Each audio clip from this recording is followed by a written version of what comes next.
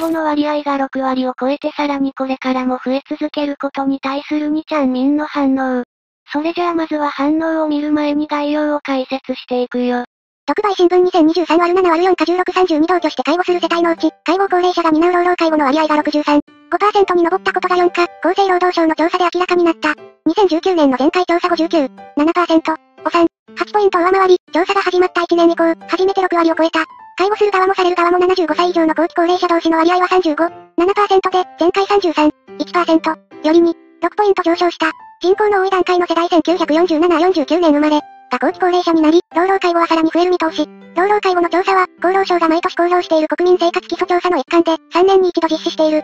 一同居だけじゃなくて施設で働いてる老人こそ問題にしたら ?70 代が施設で働いて同年代やそれ以下の老人を介護してるとか普通にあるんだがいびつすぎるだろ。そんな実態。29仕事だし金もらえるならよくね。29あれはお金もらっているし、労働時間は8時間以内だから、24時間介護の身内の介護とは違う。40、37時間拘束とかされる実態も知らんのか。一子供に親の介護やらせろよできなければ子供が金出して施設に入所させろ。36嫌です。36、85歳の老人の子供って60歳なんだぜ。子供も要介護が見える年齢になってきてる。36海上保安庁の仕事させんなよ。1日本は人口の2分の1が65歳以上の高齢者で、未成年や障害者を含む2人で1人の高齢者の生活を支えている。介護現場が人手不足なのは人口構成的に必然で、日本は高齢者も介護現場で働いて老老介護するしかないよ。1年年日本の地獄化が濃くなっていくな10年後どうなってんだろ。334老人ゾンビに食われて沈没だろ。いつこれの何が問題なの？人生の最後なんてこんなもんだろ。180代の女性が90代の介護してる現実。こんな例が増えるんだろうな。365我が家は母は86歳、父は93歳。幸いなことに母は元気で父も膝を少し痛めている程度で要介護状態ではないが今後どうなるか？俺？俺は60歳の無職童貞だがう。400早く嫁もらって両親を安心させろ。お前らどうすんの？いい大学に行っていい会社に就職しなさい。そうすれば年功序列で一生安泰だから。人生は公平だからね。三菱商事2022新卒慶応義塾25名東京大学21名早稲田大学20名京都大学6名東京工業大学5名一橋大学5名大阪大学5名。振り返るなローロー。ひえこれが自民日本国の国づくりだというのか。結婚すれば老後安泰ではなかったのか。いやこれだけ増えてるとは負担は全て下の世代かよ今の高齢は下の世代と自決するつもりかね。俺もさえ取ったら面倒見てくれる女房が欲しい。八嫁の面倒を見る可能性もあるぜ。うちの両親もそうだな共に75歳以上。やはり安楽死の選択肢が必要。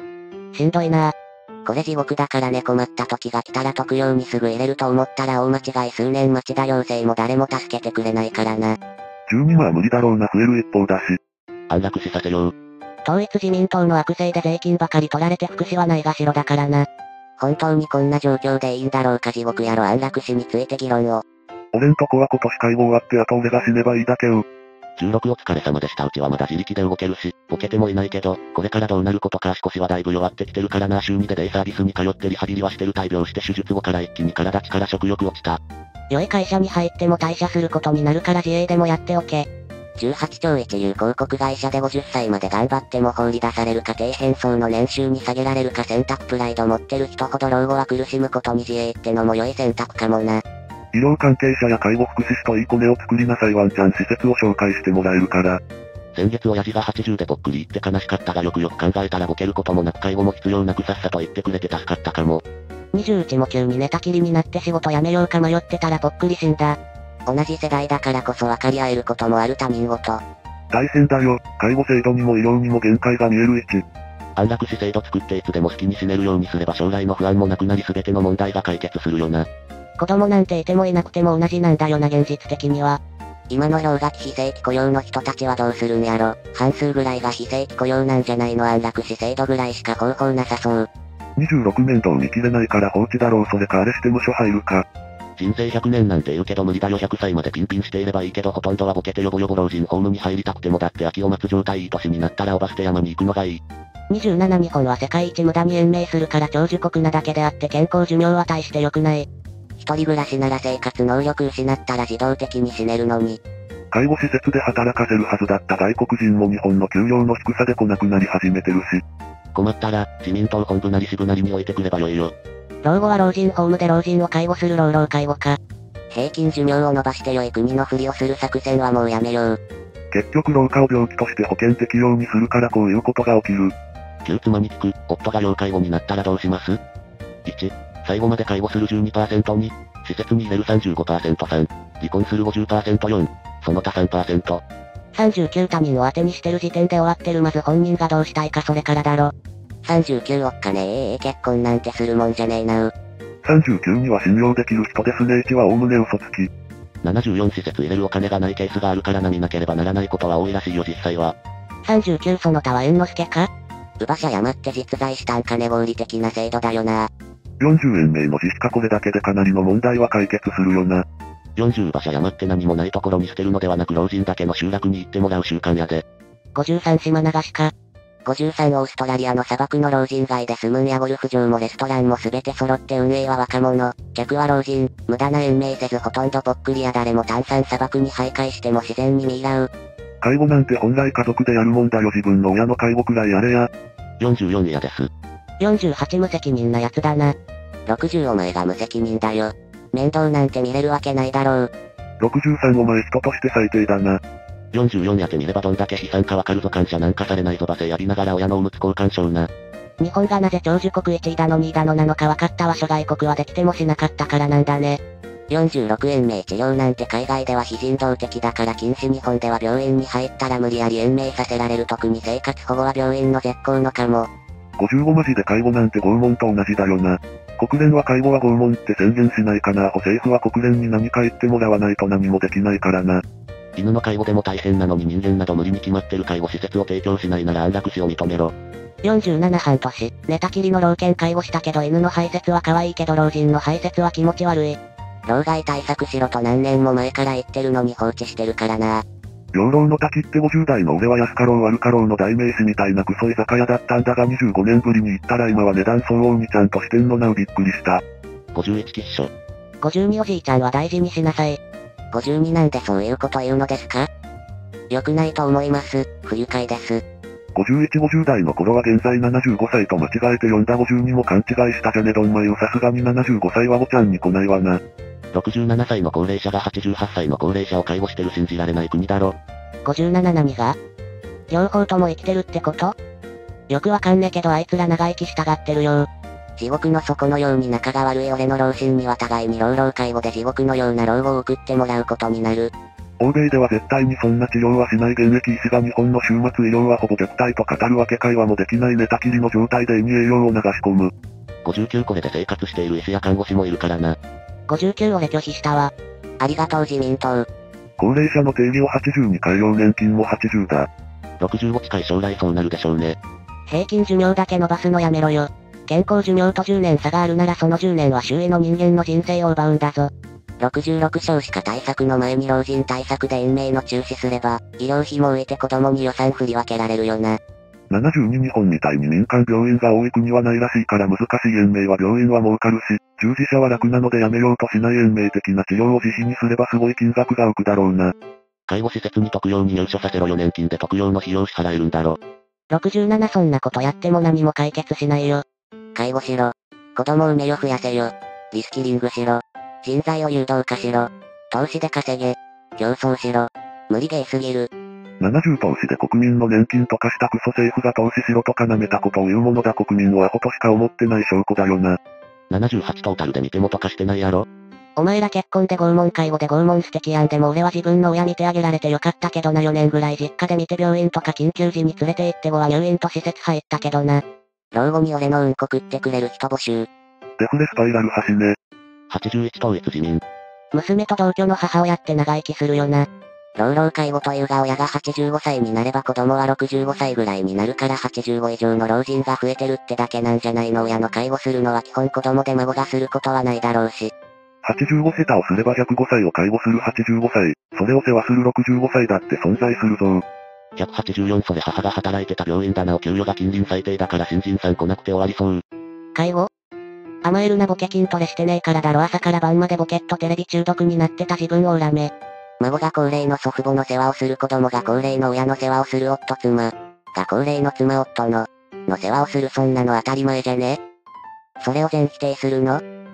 すべてを税金使って業者に任せるの ?87 孫が介護するのはヤングケアラーで年齢によってはほぼ虐待扱い。92だから、それがおかしいでしょ孫がおじいちゃんやおばあちゃんの世話をするのは普通のことじゃんどこが虐待なの ?97 そんな価値観もうとっくに崩壊しとるわ。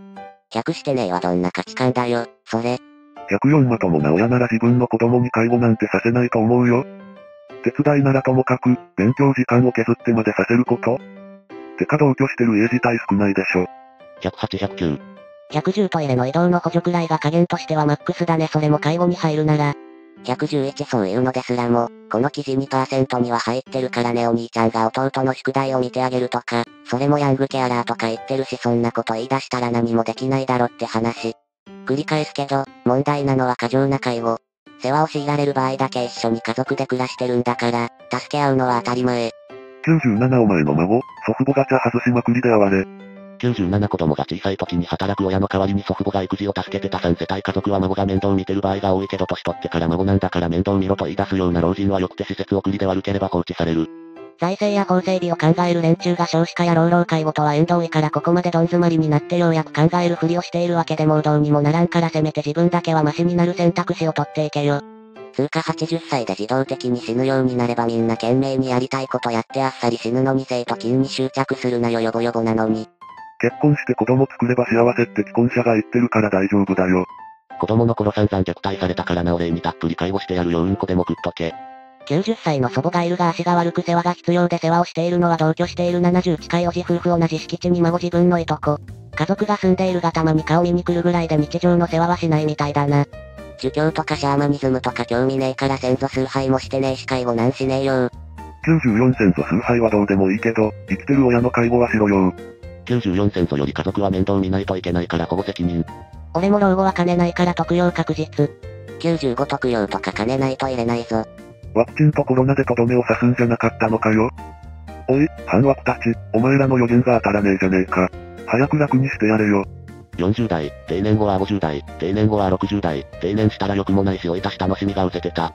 101何言っているんだね ?60 代、70代はまだまだ定年なんて先の話だろ。仕方ないやろ。今の子供は学生時代に母親が介護でイライラしたり大変な様子を嫌でも知ることになる特に女子は結婚なんかに憧れないだろうね私もママみたいに仕事して家事して介護も頑張りたい。なんて思わない。106代部前から結婚相手で長男は忌避されてるよね介護よりも同居自体が嫌がられてるので介護なんてもってのほかだわな。まあ同居のメリットとして子育ては押し付けれてその他諸々の経費で助けてもらえるけどそれでもデメリットが大きく見えて実際に色々問題もあるので長男の親と同居は避けるべきかもしれない。問題なのは過剰な介護を強いられる場合だけ過剰な介護と、ほんの些細な手伝い程度の世話を一緒にして丸々パーセントも介護してる人がいる。っていうのがおかしいんだよ。そこで高齢出産なんですよ40歳で子供を作れば、100歳まで生きても子供はまだ60歳。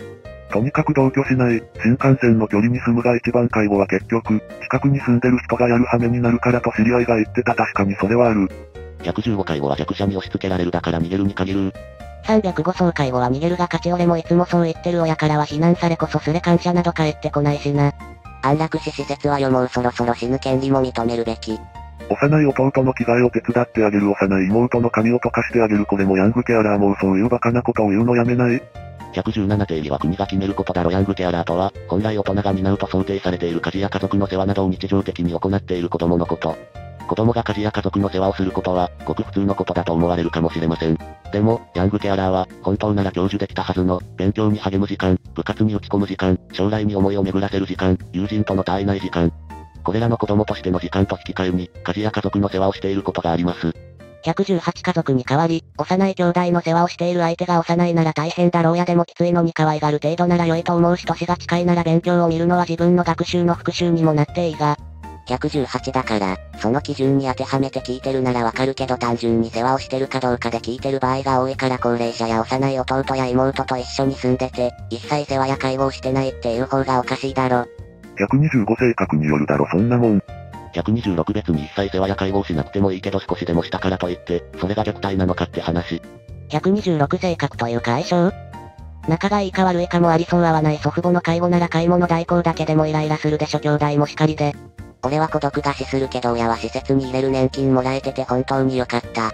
今の老人世代は、なんだかんだで若い頃から鍛えられてきた体でなんとかなっているがろくに運動もしてこなかった若い世代は、年金もらう前に寝たきりになる奴が多そうだわ。日本最大の反日勢力矢印こなし経線丸経線。一人暮らしだったら亡くなってるような事態が起こっても、家族がいると救急車呼んで助かっちゃう。何十回も救急車呼んで、その度に症状が悪くなっていく。その間数年、本人も苦しんで、家族も大変で、一夫 S 細胞を使った再生医療が実現すれば、こういう苦労もなくなっていくんだろうけど。122基本救急車呼ぶイコール延命してくださいってことだもんな。昔なら死んでるような人でも生きれる環境だしなそれが問題なんだが。ヤングケアラーは仕方なくね。立場が違えば自分がしてもらう側なんだし。今は増えてるだけで昔から一定数いただろうしな。介護は法令で禁止すべきだな小山子。子供のお嫁さんに大迷惑かけて生きて楽しいでちかお前らみたいな畜生にも劣るゴミは鬼って言うんだよ。132その逆で、親の介護は子に義務があるから逃れられんよ頑張れや。139いやいよ、逃げる子供も多いぜ少なくとも、嫁が他人の親を介護するのはけう。143冷静に考えて介護と仕事の両立できないし、どうしたらいいんだろうね。139なんや介護義務って親が死のうが我と女房と子供が大事じゃ。うちも80歳と85歳の老老介護に同居俺が手助けしてる状態も歩けるしそこまで認知も進んでいないから現段階じゃ介護度合いも低いが。老老できる人すごいと思う自分は5080の50だけどもうダメ。結婚しても地獄だな一人の方が介護士だけの世話になればいいから楽だわ。介護なんてせず一人暮らしにさせて放置しとけば、自然死してくれるだろう遺体をすぐ発見できるようにはしといた方がいいが。貯金も年金もたっぷりもらってる世代がこのありさまだからなタンス貯金は使われないまま眠ってるし消費なんて伸びるわけがない国が介護を引き受けて金持ってて動ける高齢者を遊ばせろと思う。146人生の最後の数年間で、病院代とかで金がどんどん出ていく。金がないと施設にも入れず自宅介護。ピンピンコロリなんてできる人は年取っても現役で働いてるような人だけだよ。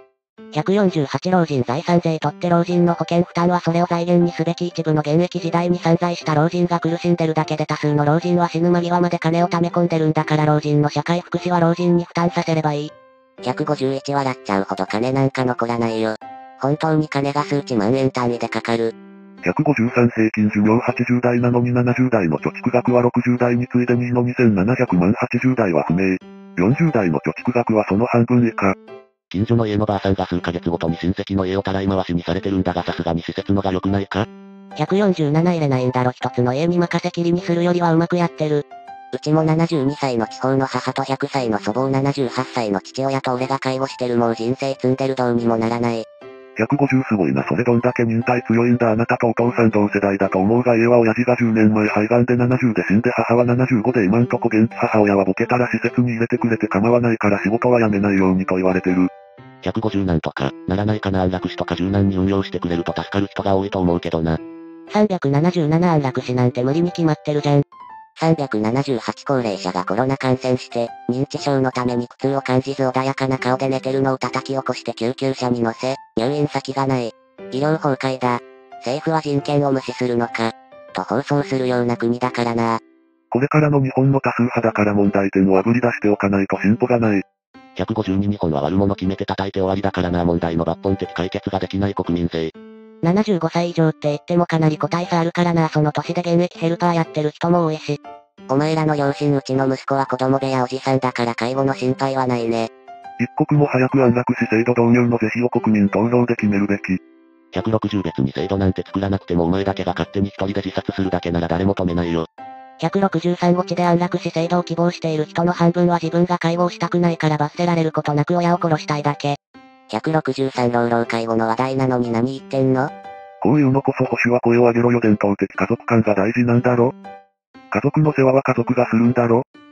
家族の世話を一切しない家族って何なんだよ？161お前呪われとるよ。60過ぎの上司の母ちゃんがまだ存命と聞いて戦慄したは長生きって一種の呪いやな。162秋田の友人宅に遊びに行ったら、母ちゃん50代とばあちゃん80代が出てきたけど奥座敷にばあちゃんの母親がまだ存命と聞いた。子供には迷惑かけたくないって人多いもんな。165子供に介護の迷惑かけたくないと思ってるなら他人の世話になる前に死んだ方が全員ハッピー。50歳の Y 父親75歳でピンコロ母親72歳でピンコロ俺ら兄弟に介護の面倒見させることなく遺産たっぷり残して言ってくれた子供に介護の世話煩わせることなく言ってくれてご高校な両親だったと感謝してる。169お前もそろそろピンコロして他人に迷惑をかける前に行けよな。172そのつもりだわそれまであと20年くらいはあるけどな金もないのに他人や社会に迷惑までかけて長生きするとか人として間違ってるわ。ちなみに俺の父親は死ぬ2ヶ月前まで自分の会社で働いてしっかり金稼いでて年金の世話にすらなってないからな。早くワクチンを。マイホーム購入してる段階築30、40年の家にみんな一人で住んでるよ一人見なら賃貸かマンションでええやん。174年取ると引っ越しする気力も体力もない。家賃も払う金もない。立地が良ければいいが、ほとんどは微妙なところに家建てるから、顔を出すのも大変で静かに死んでいく。最後までご視聴いただきありがとうございます。議論はまだまだ続いていましたが今回はここでおしまい。思うところがあったらコメントやチャンネル登録をしていただけると嬉しいです。それではまた次の動画でお会いしましょう。